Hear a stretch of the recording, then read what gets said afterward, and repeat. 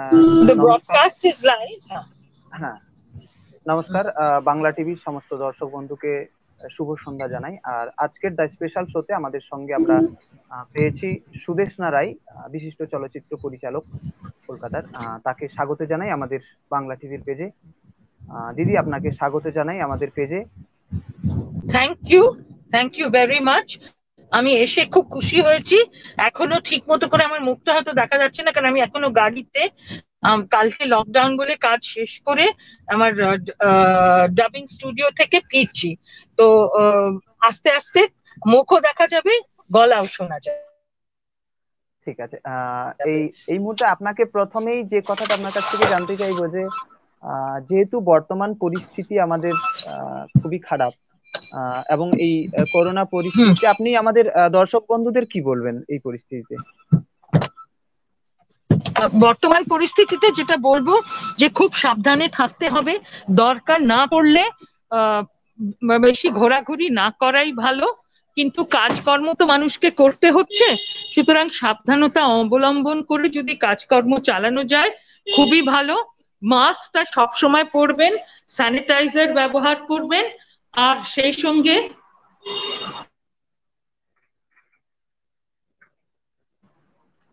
Sanitiser ব্যবহার করবেন আর সেই সঙ্গে বাড়ি যখন ফিরবেন কোথাও থেকে, বাইরে থেকে, সেখানেও খুব সাবধানতা অবলম্বন করা দরকার। কারণ বাড়িতে ঢোকার সময় থেকে একেবারে নিজেকে স্যানিটাইজ করাটা খুব দরকার। আর মনটাকে শান্ত রাখবেন। আর কি বলব? কাজ আমি করছি, কাজ আমি করব মনটাকে তো আর বন্ধ করা যায় না। তো আমাদের কাজের অনেক কিছুরই প্রেপারেশন থাকে, ঘরে বসেও করা যায় স্ক্রিপ্ট করা যায়। আমরা, না এডিট করছি, আমরা ডাবিং করছি, আমরা মিউজিক করছি, সেটা করে সমস্ত কিছুই অনলাইন পাঠিয়ে দেওয়া হচ্ছে। এখনও সেই প্রক্রিয়া চলছে। আচ্ছা যাই হোক সে তো কাজ আমাদের করতেই হবে এবং কাজের মধ্যেই থাকতে হবে।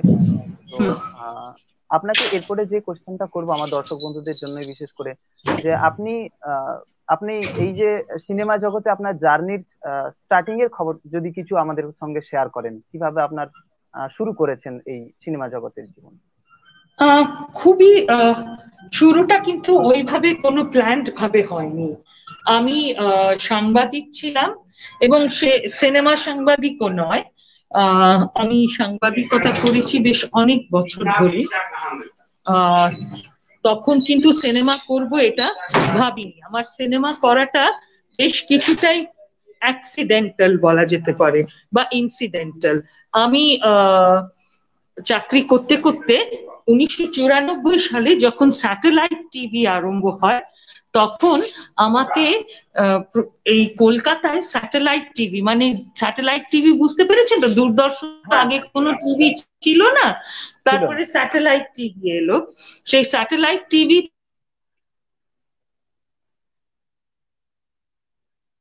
হ্যালো শোনা যাচ্ছে কি? হ্যাঁ। হ্যাঁ শোনা যাচ্ছে। হ্যালো হ্যাঁ প্রথম প্রাইভেট টিভি করেছিল জি বাংলা রোজ দু ঘণ্টা করে বিকেলে একটা প্র্যাকটিস হতো। তো আমাকে প্রথম প্রসেনজিৎ চ্যাটার্জি সেই সময় ওটার সঙ্গে জড়িত ছিলেন এবং উনি আমাকে বলেছিলেন যে একটা, আমি যেহেতু মহিলা ম্যাগাজিনে কাজ করতাম, মহিলাদের জন্য একটা শো করতে। তো সেই সময় মানবী বলে একটা শো আমি শুরু করি। এই আমার প্রথম বলা যেতে পারে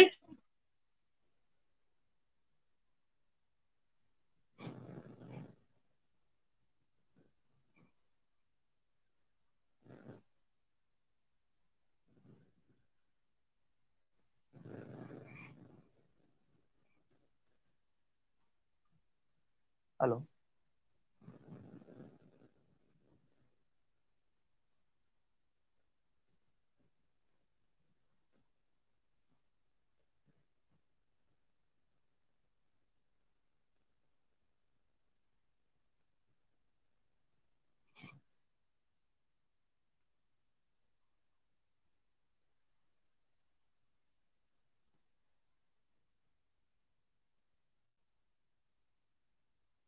হ্যালো সম্ভবত দিদির একটু ইন্টারনেটের সমস্যা হচ্ছে, যার কারণে হয়তো ডিসকানেক্ট হয়ে গেছেন।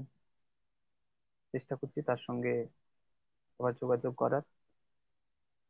তার একটু ইন্টারনেটের সমস্যা হচ্ছে সম্ভবত।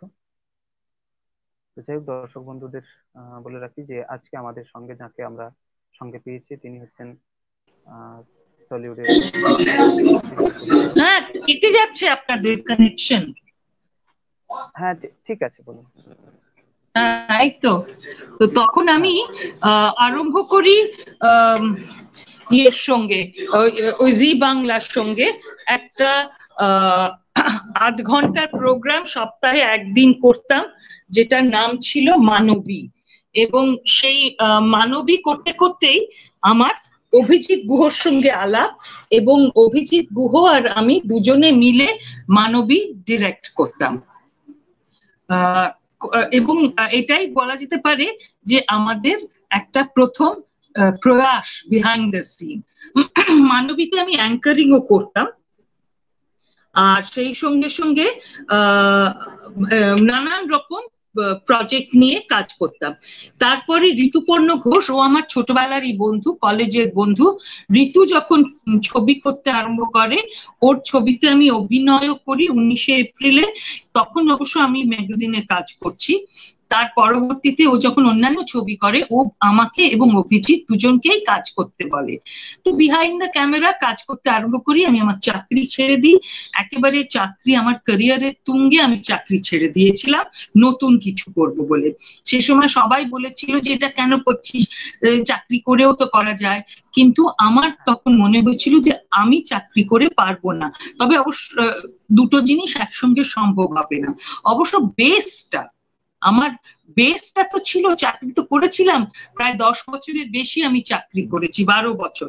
আমি সবাইকেই বলি যে প্রথম দিকে একটু বেস নিজের তৈরি করা দরকার। কারণ রোজগার করতে গেলে এই ফিল্ডে নানান রকম অভিজ্ঞতা দরকার। তাই জন্য আমি ওই তারপরে কাজ আরম্ভ করি এবং সেই থেকে প্রথমে আমরা ঋতুপর্ণকে হেল্প করি। বিহাইন্ড দ্য ক্যামেরা আমি নানান ছবিতে ওর সঙ্গে কাজ করেছি, যেরকম দহন।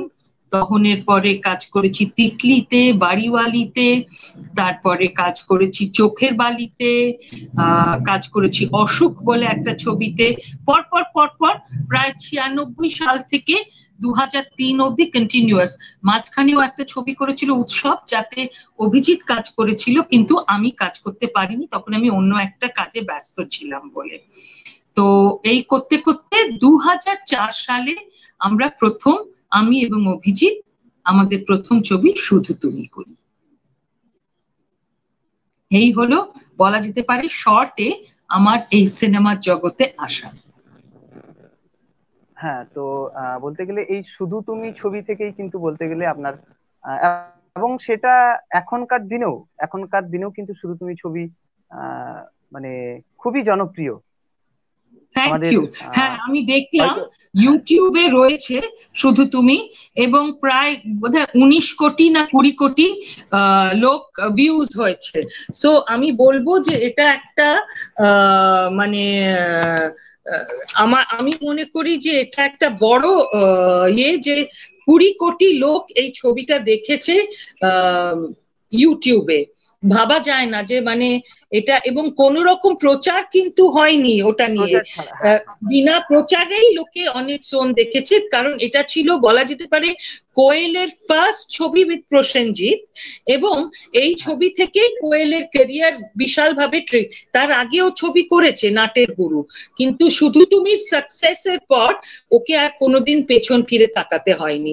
এরপরে ও প্রসেনজিতের সঙ্গে জিতের সঙ্গে এবং একেবারে টপ প্রত্যেক নায়কের সঙ্গে কাজ শুরু করে দেয়। সবার সঙ্গে যদিও ওর ফার্স্ট ছবিটা জিতের অপোজিটেই ছিল।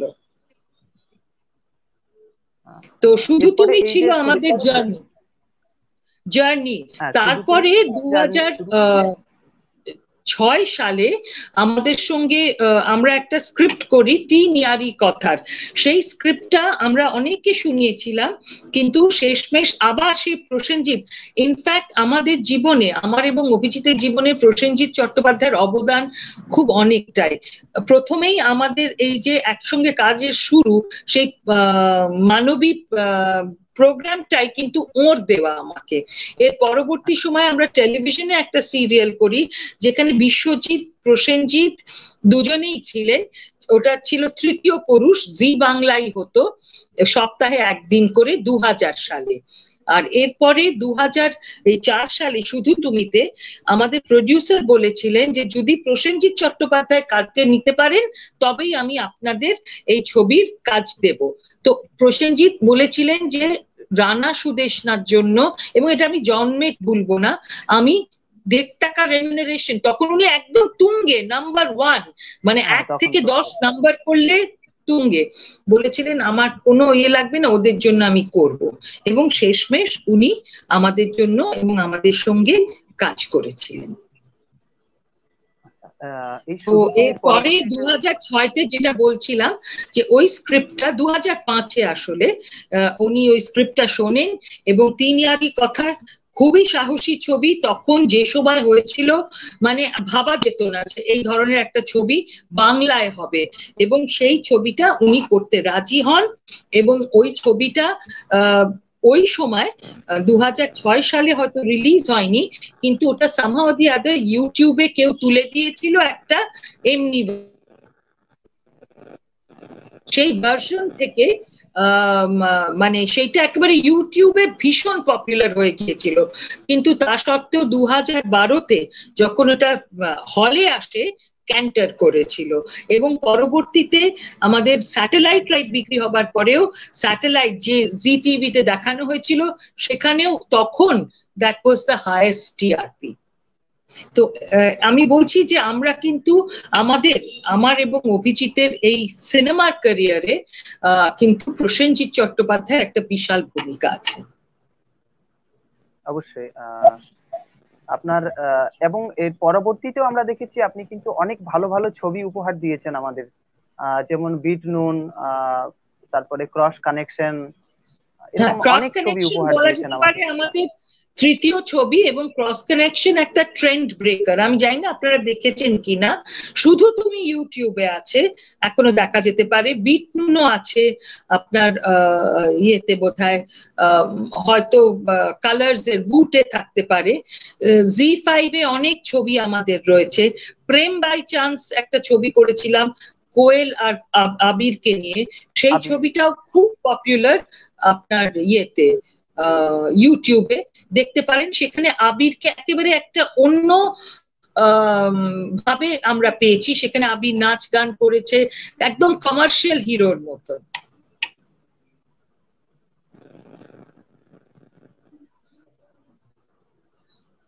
হ্যাঁ এরকম আমরা অনেক ছবি উপহার পেয়েছি সুদেশ নাদির কাছ থেকে এবং তাদের টিমের কাছ থেকে। তো হ্যাঁ বলুন। হ্যাঁ এরপরে যে কথাটা আপনাকে জিজ্ঞেস করব যে আপনি ছবি পরিচালনার সাথে পাশাপাশি আপনি কিন্তু অনেক ছবিতে অভিনয়ও করেছেন। তো আপনি বললেন অবশ্য ঋতুপর্ণ ঘোষের সঙ্গে আপনার কাজের শুরু। বা সেই সময় থেকে। না না আমি অভিনয় আমি অভিনয় করেছি আমার জীবনের প্রথম অভিনয় বহু বছর আগে তপন সিংহের বৈদুর্য রহস্য ছবিতে। বৈদুর্য রহস্য ছবি তখন আমি হয়তো অভিনয় করার ইচ্ছেটা আমার ছিল। এটা আমি বলছি উনিশশো তিরাশি সালে তিরাশি সালে হ্যাঁ সেই সময়।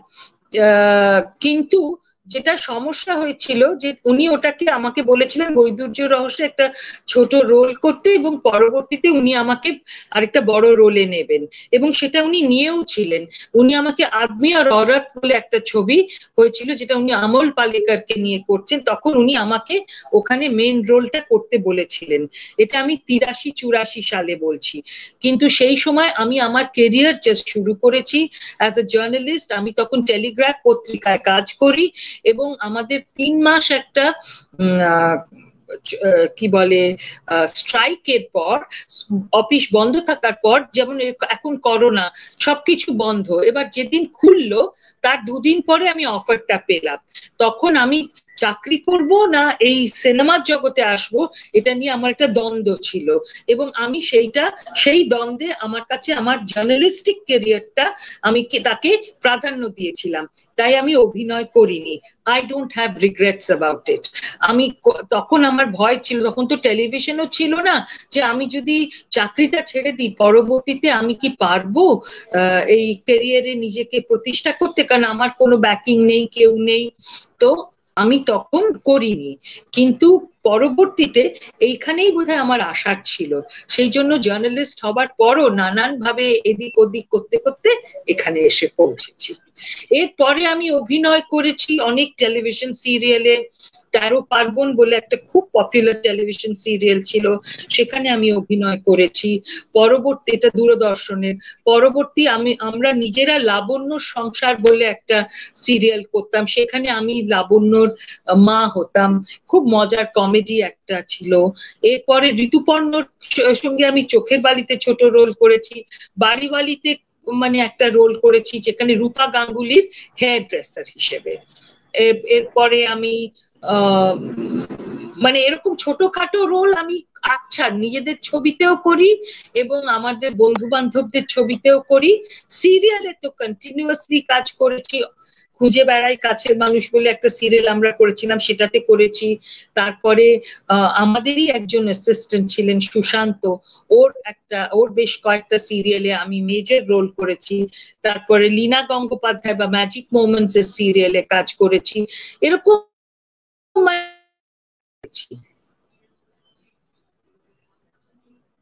সুতরাং অভিনয়টা জন্যই আমার কিন্তু ডিরেকশনে অনেক সুবিধে হয়েছে।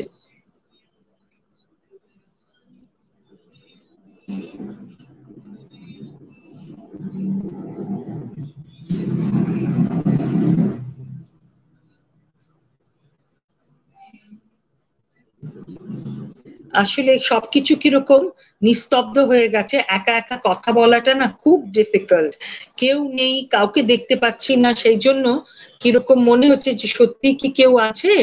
কাউকে কি পাবো? এখানে একজন চন্দন প্রামাণিক বাংলা টিভিতে আপনাকে স্বাগত জানাই বলেছেন। এছাড়া তো কাউকেই দেখতে পাচ্ছি না।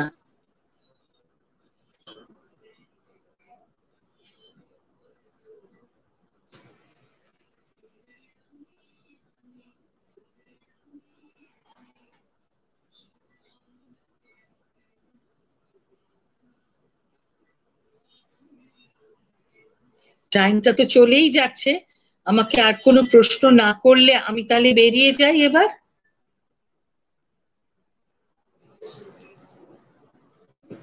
থ্যাংক ইউ সো মাচ আমাকে এখানে এসে কিছুক্ষণ অন্তত আমরা গল্প গুজব করতে পারলাম। আমি জানি না কতটা কি ইয়ে হবে। আচ্ছা দেখছি একটা চ্যাটে